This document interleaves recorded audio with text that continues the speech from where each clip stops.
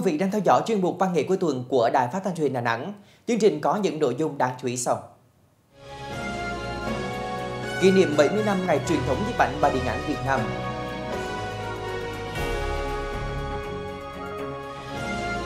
Chương trình âm nhạc thắp sáng hy vọng.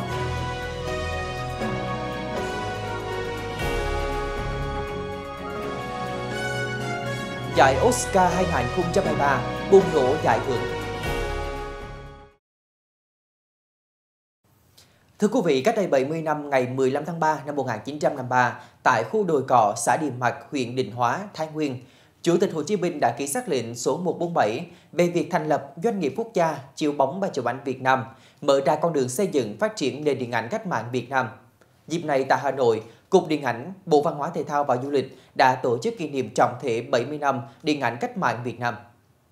Bảy thập kỷ qua, điện ảnh cách mạng Việt Nam luôn đồng hành với từng giai đoạn lịch sử dân tộc, phản ánh chân thực và sinh động cuộc đấu tranh bảo vệ Tổ quốc, sự nghiệp xây dựng phát triển đất nước. Điện ảnh cách mạng Việt Nam luôn là lực lượng xung kích trên mặt trận tư tưởng văn hóa của Đảng, làm tròn nhiệm vụ phục vụ đời sống văn hóa, tinh thần của nhân dân và hội nhập mạnh mẽ với điện ảnh khu vực và thế giới. Các đại biểu cũng tin tưởng với đội ngũ những người làm công tác điện ảnh trẻ và toàn ngành điện ảnh sẽ tiếp tục phát huy truyền thống vẻ vang của thế hệ đi trước để đưa điện ảnh nước nhà phát triển bền vững, phân đấu làm nên những tác phẩm lớn, xứng đáng với sự nghiệp đổi mới vĩ đại, góp phần khơi dậy khát vọng phát triển đất nước phồn vinh, hạnh phúc như nghị quyết Đại hội Đảng lần thứ 13 chỉ hướng. Tại Đà Nẵng, Liên hiệp các hội văn học nghệ thuật thành phố phối hợp với một số đơn vị chức năng tổ chức lễ kỷ niệm 70 năm ngày truyền thống nhiếp ảnh và điện ảnh Việt Nam. Ủy viên Trung ương Đảng, Bí thư Thành ủy, trưởng đoàn đại biểu Quốc hội thành phố Đà Nẵng Nguyễn Văn Quảng, ba đại diện lãnh đạo các ngành chức năng của thành phố đến dự. Trong suốt 70 năm xây dựng và phát triển, nhiếp ảnh và điện ảnh Việt Nam đã có nhiều đóng góp cho sự nghiệp xây dựng và bảo vệ Tổ quốc. Hòa trong dòng chảy đó, nhiếp ảnh và điện ảnh Đà Nẵng thời gian qua cũng đã có những bước chuyển mình mạnh mẽ, tạo được những dấu ấn riêng. Trong 25 năm thành phố trực thuộc Trung ương, những người làm điện ảnh Đà Nẵng liên tục gặt hái thành tựu trong nghề. Những nghệ sĩ nhiếp ảnh thành phố thường xuyên mang chuông đi đánh xương người và giành được nhiều giải thưởng quốc tế danh giá. Sự thay đổi phát triển của nhiếp ảnh Đà Nẵng trong thời gian qua rất là ấn tượng. Về thành tích thì để lại rất là nhiều dấu ấn thì cũng như là liên hoan ảnh nghệ thuật à, Việt Nam năm 2022 thì à, à, nhiếp ảnh Đà Nẵng đã đoạt cả, cả, cả ba bộ huy chương là vàng bạc đồng. Chúng tôi đã có phát huy cái thế mạnh của mình trong sản xuất phim tài liệu. Có nhiều bộ phim đã được giải thưởng trong nước và quốc tế. Ờ, nó phản ánh một cách sinh động cái đời sống văn hóa xã hội và những cái công cuộc xây dựng ờ, và phát triển của quê hương Đà Nẵng cũng như các tỉnh thành trong khu vực miền Trung, Tây Nguyên. Đến dự và phát biểu tại buổi lễ, Phó Chủ tịch Ủy ban Nhân dân thành phố Đà Nẵng Ngô Thị Kim Yến ghi nhận những nỗ lực, công hiến của các nghệ sĩ vào sự nghiệp phát triển ngành nhiếp ảnh và điện ảnh thành phố. Phó Chủ tịch thành phố bày tỏ hy vọng trong tương lai không xa, hai ngành này sẽ phát triển mạnh mẽ, góp phần nâng cao giá trị cuộc sống cho người dân thành phố. Dịp này, Hội nghệ sĩ nhiếp ảnh Việt Nam tặng kỷ niệm chương vì sự nghiệp phát triển nghệ thuật nhiếp ảnh Việt Nam cho nghệ sĩ nhiếp ảnh Thân Nguyên, trao bằng khen cho tập thể chi hội nghệ sĩ nhiếp ảnh Việt Nam thành phố, ba nghệ sĩ nhiếp ảnh Huỳnh Văn Truyền, trao giải thưởng nhiếp ảnh xuất sắc năm 2022 cho nghệ sĩ nhiếp ảnh Ông Văn Sinh và Huỳnh Văn Truyền. Hội Điện ảnh thành phố trao giải thưởng điện ảnh năm 2022 cho 4 tác phẩm có chất lượng tốt, gồm Ghi chép 12 ngày đêm của nhóm tác giả Đoàn Hồng Lê, Đặng Lê Thế Phong, Đặng Tiến Nhật, Trên đôi chân trở về của nhóm tác giả Phạm Hồng Liên, Nguyễn Văn Thanh, Đoàn Hùng Anh, tuyến đầu của nhóm tác giả Đặng Quốc Phùng, Bá Vĩnh, Thành Đồng. Khi quốc tế ca vang lên trên xứ đạo của nhóm tác giả Hồng Quang Năm, Trọng Huy, Thành Đồng, Văn Vũ.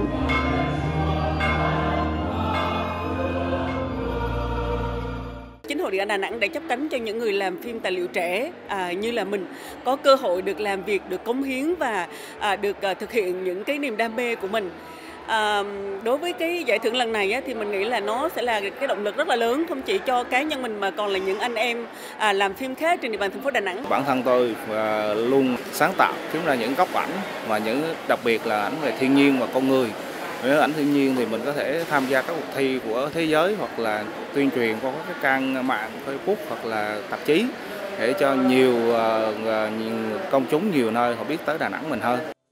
Dịp này, ban tổ chức cũng đã khai mạc triển lãm ảnh nghệ thuật với chủ đề Đà Nẵng, thành tựu và khát vọng. Triển lãm trưng bày hơn 100 tác phẩm của các nghệ sĩ nhiếp ảnh. Trong đó có bức ảnh xác lệnh về việc thành lập Doanh nghiệp quốc gia chiếu bóng và chụp ảnh Việt Nam và những tác phẩm của các nghệ sĩ nhiếp ảnh giai đoạn trước ghi lại hình ảnh của Chủ tịch Hồ Chí Minh. Đặc biệt, bằng ống kính nghệ thuật của người nghệ sĩ, vẻ đẹp con người, thiên nhiên và những thay đổi trong đời sống xã hội, sự phát triển không ngừng của một Đà Nẵng năng động, thân thiện và an bình đã được thể hiện rõ nét và để lại ấn tượng mạnh mẽ trong lòng khách tham quan. Em rất là ấn tượng có những cái phong cảnh như là nói về đời sống của người dân ấy. Ờ, ở đây thì các nghệ sĩ đều là chắc là chụp những cái ờ, sinh hoạt đời thường dân. Em đến đây và được uh, chiêm ngưỡng những hình uh, những cái hình ảnh ở đây á, thì em cảm thấy rất là đẹp, đẹp về màu sắc và sự kỳ công của các uh, nhiếp ảnh. Thông qua các tác phẩm được trưng bày tại triển lãm lần này, các nghệ sĩ nhiếp ảnh muốn gửi gắm thông điệp, niềm tin về một thành phố phát triển bền vững, văn minh, hiện đại, đồng thời lan tỏa vẻ đẹp của Đà Nẵng đến với đông đảo người dân và du khách. Triển lãm này thì hình ảnh mảnh đất và con người Đà Nẵng à, đẹp đẽ hiện lên ở trong à, à, mắt của người xem và đó là nó có sức thu hút khách du lịch cũng như là cái, cái vẻ đẹp của Đà Nẵng sẽ được lan tỏa ở trong cộng đồng. Triển lãm ảnh nghệ thuật với chủ đề Đà Nẵng thành tựu và khát vọng diễn ra đến hết ngày 30 tháng 4 năm 2023 tại công viên APEC Đà Nẵng.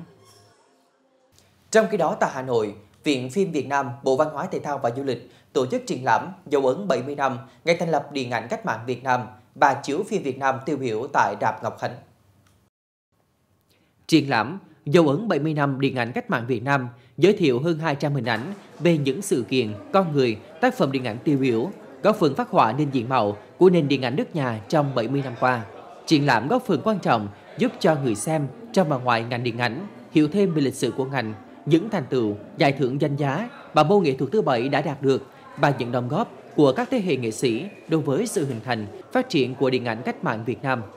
Tại triển lãm, Viện Phim Việt Nam cũng giới thiệu sách Áp phích phim điện ảnh Việt Nam theo dòng lịch sử, tập 1, giai đoạn 1953-2000 với 200 áp phích được sưu tầm từ nhiều nguồn khác nhau và hiện đang lưu trữ tại Viện Phim Việt Nam. Hội nghệ sĩ nhiếp ảnh Việt Nam vừa trao giải cuộc thi ảnh nghệ thuật quốc tế tại Việt Nam năm 2023. Đây là cuộc thi do Việt Nam sáng lập và tổ chức 2 năm một lần dành cho các nhà nhiếp ảnh trên toàn thế giới. Cuộc thi thu hút hơn 10.000 tác phẩm của khoảng 1.000 tác giả đến từ 32 quốc gia và vùng lãnh thổ gửi về tham dự, trong đó có rất nhiều nhiếp ảnh gia nổi tiếng trên thế giới. Điều này cũng cho thấy uy tín và thương hiệu của cuộc thi. Năm nay, cuộc thi còn được Liên đoàn nhiếp ảnh nghệ thuật quốc tế FIAP và Hiệp hội Hình ảnh không biên giới bảo trợ nghệ thuật cấp huy chương các thứ bậc và bằng danh dự cho từng chủ đề của cuộc thi. Kết quả đã có 71 giải thưởng vàng, bạc, đồng và khuyến khích dành cho 4 chủ đề tự do cho ảnh màu, tự do cho ảnh đường sắt, trẻ em và ảnh ý tưởng. Trong số 12 giải thưởng cao nhất của cuộc thi ảnh nghệ thuật quốc tế 2023, Việt Nam có 4 tác phẩm đoạt huy chương vàng ở các thể loại và đề tài khác nhau. Tại lễ trao giải, Hội nghệ sĩ nhiếp ảnh Việt Nam cũng phát động cuộc thi lần thứ 13. Nằm trong chuỗi các hoạt động nhân kỷ niệm 70 năm ngày thành lập ngành điện ảnh cách mạng Việt Nam, triển lãm ba tuần phim do Trung tâm Văn hóa Điện ảnh Đà Nẵng phối hợp với Hội Điện ảnh thành phố tổ chức tại Rạp Lê đồ đã thu hút sự quan tâm của đông đảo công chúng. Bao giờ cho đến tháng 10 là bộ phim mở đầu cho tuần phim kỷ niệm 70 năm ngày thành lập ngành điện ảnh cách mạng Việt Nam tại Đà Nẵng. Đây là tác phẩm điện ảnh do nghệ sĩ nhân dân Đặng Nhật Minh làm đạo diễn, ra mắt lần đầu vào năm 1984 và là một bộ phim thành công và kinh điển của điện ảnh Việt Nam những năm đầu thập niên 1980. Bao giờ cho đến tháng 10 cũng là một trong 18 bộ phim châu Á xuất sắc nhất mọi thời đại do CNN bình chọn. Khán giả còn được xem một số bộ phim kinh điển khác như Cánh đồng hoang, Tự thú trước bình minh, Cô gái trên sông, Mối tình đầu, Mùa Đất nổi, Về nơi gió cát. Cùng với chiếu phim, Hội Điện ảnh thành phố đã trưng bày, giới thiệu đến công chúng một số hình ảnh phim, tư liệu điện ảnh trước rạp chiếu phim đầy Đồ.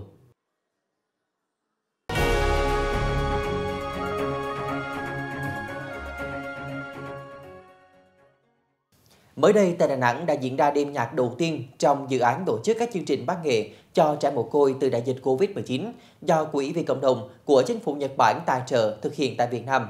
Dự án mang tên Thắp sáng hy vọng. Chương trình được tư vấn bởi giám đốc âm nhạc của dàn nhạc giao hưởng Việt Nam và sự đồng hành của công ty Sompo Nhật Bản tại Việt Nam. Theo kế hoạch, các chương trình biểu diễn của dàn nhạc giao hưởng Việt Nam sẽ được duy trì tối thiểu 3 lần trong một năm và kéo dài trong 5 năm, với mục tiêu thông qua âm nhạc truyền tải đến những điều tốt đẹp hơn cho sức khỏe tâm lý và tinh thần của các em học sinh. Dự án nằm trong khuôn khổ các hoạt động chào mừng 50 năm quan hệ Việt Nam-Nhật Bản. Các doanh nghiệp Nhật đã lựa chọn 4 nước bao gồm Indonesia, Malaysia, Philippines và Việt Nam để triển khai các hoạt động phúc lợi xã hội. Tại Việt Nam, Trường Hy vọng được thành lập bởi tập đoàn FPT, nơi nuôi dưỡng, đào tạo các em học sinh mất cha mẹ vì đại dịch Covid-19, được chọn để thực hiện chương trình này. Hạo khúc tháng 3 là chủ đề của đêm văn nghệ được tổ chức tại phường Mỹ An, quận Hoàng Sơn, thu hút đông đảo người xem. 15 tiết mục ca hát múa được thể hiện tại chương trình đã truyền tải niềm tự hào về đảng quang vinh, đất nước con người Việt Nam tươi đẹp và thành phố Đà Nẵng đáng sống, tự tin, khát vọng vươn xa. Đêm văn nghệ nhằm phục vụ nhu cầu giải trí văn hóa văn nghệ của bà con nhân dân, đồng thời mong muốn quảng bá hình ảnh khu phố du lịch An Thường. Đây cũng là dịp để các mạnh thường quân được chung tay đóng góp, chia sẻ với những hoàn cảnh khó khăn trên địa bàn phường. Thưa quý vị, nghệ sĩ nhân dân Diệp Lan đã qua đời ở tuổi 82 sau một cơn đau tim. Ông là một tên tuổi lớn của nghệ thuật cải lương Việt Nam. Nghệ sĩ Diệp Lan, tên thật là Dương Công Thuấn, sinh năm 1941. Nhắc đến Diệp Lan, giới mộ điệu cải lương nhớ đến các vai Hội đồng Thanh, Đời Cô Lựu, Hội đồng Dư, Tiếng Đỏ Sông Hậu, ông từng diễn. Nhiều vợ ông tham gia cũng để lại dấu ấn trong lòng người xem như Tô Ánh Nguyệt, Lan Bà Điệp, Nửa đời hương phấn, Tiếng sóng đặt gầm, Tâm sự Ngọc Hưng. Ông cũng được phong tặng danh hiệu nghệ sĩ nhân dân vào năm 2003.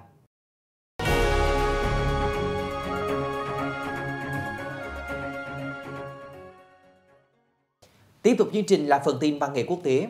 Thưa quý vị, đêm trao giải Oscar lần thứ 95 vừa khép lại thành công.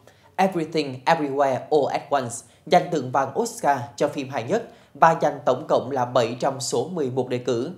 Lễ trao giải năm nay đã diễn ra trực tiếp tại nhà hát Dolby ở Los Angeles của Mỹ với sự tham dự của đông đảo các sao Hollywood cũng như những nghệ sĩ, diễn viên, nhà làm phim, những người hoạt động trong nghệ thuật điện ảnh từ nhiều nơi trên thế giới.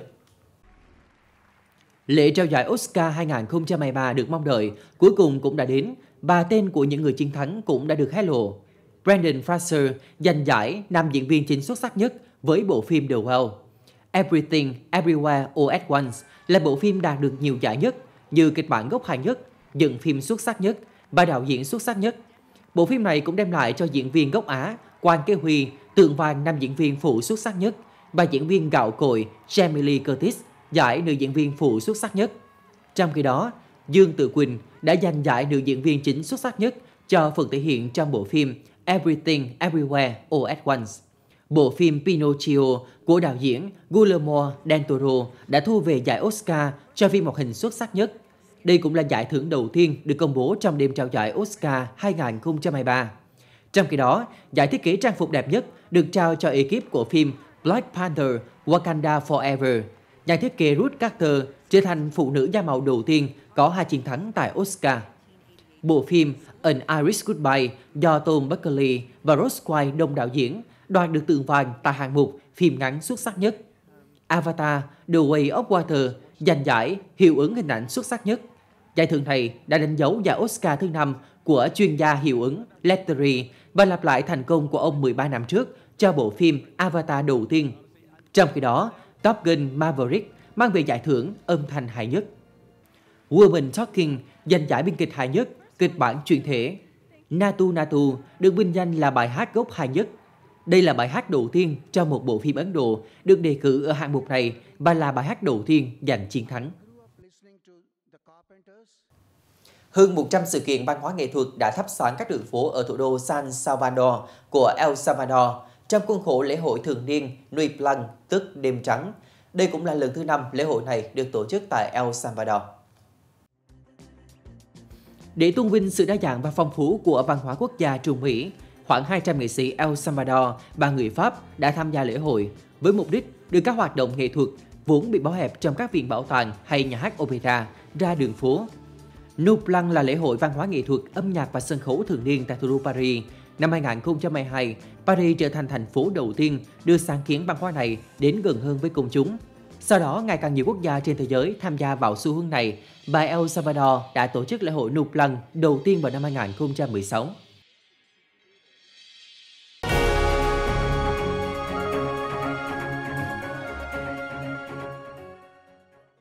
Văn chương Đà Nẵng trong tuyển tập này giống như những tiếng sóng, lớp này đến lớp khác, kể cho chúng ta bao câu chuyện và bí mật của đại dương đời sống. Đó là nhận xét của nhà thơ Nguyễn Quang Thiều, Chủ tịch Hội Nhà văn Việt Nam trong lời giới thiệu ở đầu tuyển tập tác phẩm văn học đoạt giải 2001-2021. Đây là cuốn sách do Hội đồng Nghệ thuật Hội Nhà văn Đà Nẵng biên soạn, gồm các tác phẩm thơ văn tiêu biểu của 44 tác giả đã nhận được các giải thưởng uy tín, danh giá của Trung ương và địa phương 20 năm qua. Tuyển tập Tác phẩm văn học đoạt giải 2001-2021 do Nhà xuất bản Đà Nẵng ấn hành vào đầu năm 2023, dạy trên 600 trang. Trong tuyển tập này, bạn đọc sẽ có dịp gặp gỡ nhiều tác giả tiêu biểu từ thế hệ kháng chiến Pháp, Mỹ như Lưu Trùng Dương, Phạm Phát, Nguyễn Văn Xuân, Đoàn Xoa, Thanh Quế, Gân Vịnh, cho đến những gương mặt trưởng thành sau năm 1975 như Lê Anh Dũng, Nguyễn Minh Hùng, Nguyễn Nho Khiêm, Đinh Thị Như Thúy, Nguyễn Thị Anh Đào. Nếu 20 năm mà chúng ta không chọn lại, tinh lọc lại những cái tác phẩm có giá trị mà đây là một cái thành quả của các nhà văn nhà thơ đã sáng tạo thì chúng ta không ghi nhận được một giai đoạn của các nhà văn Đà Nẵng đã đóng góp cho nền văn học nước nhà. Và chính vì thế, tác phẩm văn học đoạt giải nó tiêu biểu và tượng trưng cho cả một đội ngũ trong một giai đoạn của các nhà văn thành phố Đà Nẵng của mình. Tuyển tập Tác phẩm văn học đoạt giải 2001-2021 được chia thành hai phần, thơ và văn xuôi. Mỗi nhà thơ hiện diện trong tập sách là một gam màu, một sắc điệu riêng biệt. 25 nhà thơ, mỗi người mang đến một vẻ đẹp thơ ca và những tầng lớp khác nhau của triết lý nhân sinh.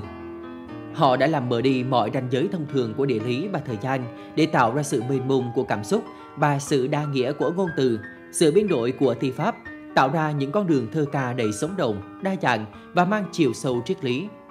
Những cái nhà thơ đi trước, thì thơ họ thì nó đến một cái khi xuất hiện trong tập bên này thì sẽ họ cái ngôn ngữ trong thơ cái thủ pháp nghệ thuật và kể cả ngôn ngữ thơ chắc lọc hơn. Có đầy cái màu sắc triết lý đặc biệt trong cái thế hệ thứ hai.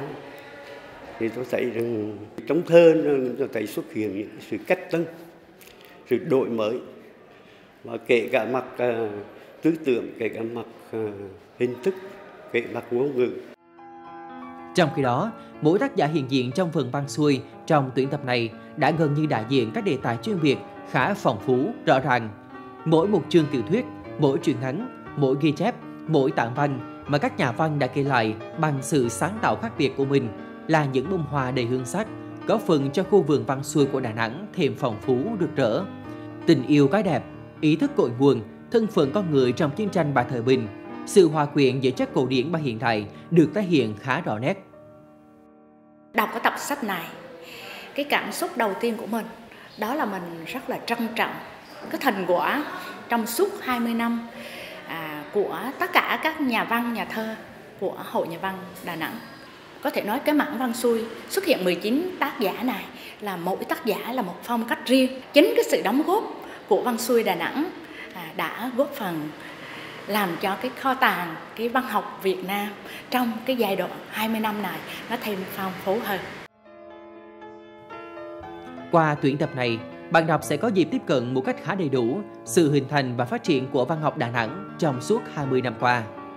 Tuy chặng đường ấy không dài lắm, nhưng có thể khẳng định các tác giả có mặt ở đây đã góp phần quan trọng trong việc thể hiện tính kế thừa xây dựng lịch sử văn học không chỉ của Đà Nẵng mà của cả nền văn học Việt Nam.